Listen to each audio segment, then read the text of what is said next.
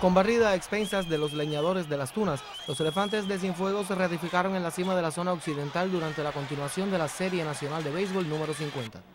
Ahora la manada de paquidermos que dirige el técnico Iday Abreu archiva 45 victorias con 24 derrotas y confirma sus intenciones de incluirse en los playoffs por segunda campaña consecutiva, cuando a falta de 21 desafíos lidera su apartado geográfico con cómoda ventaja de 5 juegos sobre La Habana y Pinar del Río, 6 sobre Santi Espíritus y 11 y medio sobre el Maltrecho Industriales.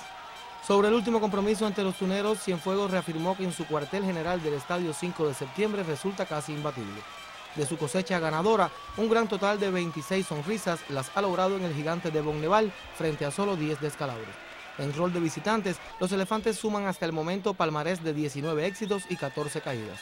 La afición de casa celebró durante el fin de semana la victoria 11 de su astro Norberto González, el salvamento 18 de Oduniel Ibarra, indiscutible líder en ese departamento, y el jonrón 16 de Yaciel Puig, uno que parece haber reencontrado su habitual forma, algo indispensable en las aspiraciones del conjunto, el cual demostró con creces que pueden ganar, aún sin la presencia de José Dariel Abreu. Y hablando de Pito Abreu, los seguidores de la escuadra Cienfueguera volverán a disfrutar su desempeño a partir de mañana martes, cuando el recio toletero debe reaparecer en el primer juego frente a Santiago de Cuba. Cuatro serán las subseries consecutivas en la carretera, pues luego del enfrentamiento en el Guillermo Moncada, los elefantes mantendrán la condición de visitantes en Guantánamo, Las Tunas y Camagüey.